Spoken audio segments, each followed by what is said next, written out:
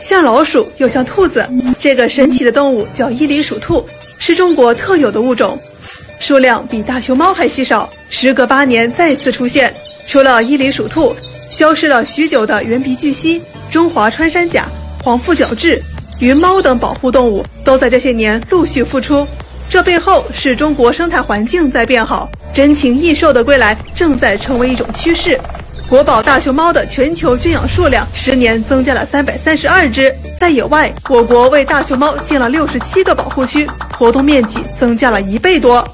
另外两种大猫的数量也在快速增长，十年间，野生东北虎、东北豹的数量翻了一倍。在东北虎豹国家公园，一半的区域都有东北虎的活动踪迹。一只成年东北虎每年要吃掉五十到七十只有蹄类动物和若干小型猎物。作为食物链顶端的猎食者，它的生存状态是衡量当地生态环境的重要指标。所以，保护野生东北虎豹不只是保护单一物种，更是保护完整的食物链和我们赖以生存的环境。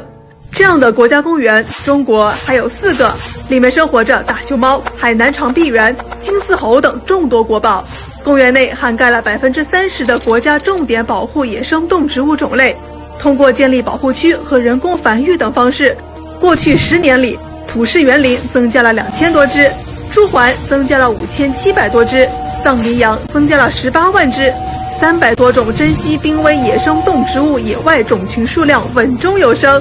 大熊猫、藏羚羊、雪豹等一批动物喜提降级，这是对珍稀动物保护最好的嘉奖。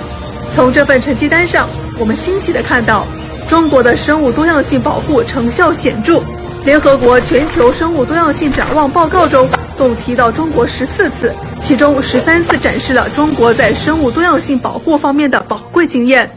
从保护到共生，我们在用实际行动践行着“生态兴则文明兴”。